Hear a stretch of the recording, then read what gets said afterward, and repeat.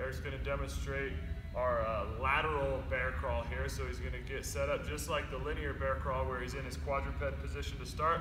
Hands directly in line with his shoulders, knees directly in line with his hips. He's gonna move into bear position, which is just hovering those knees just barely off the ground, maintaining that same distance off the ground the entire time.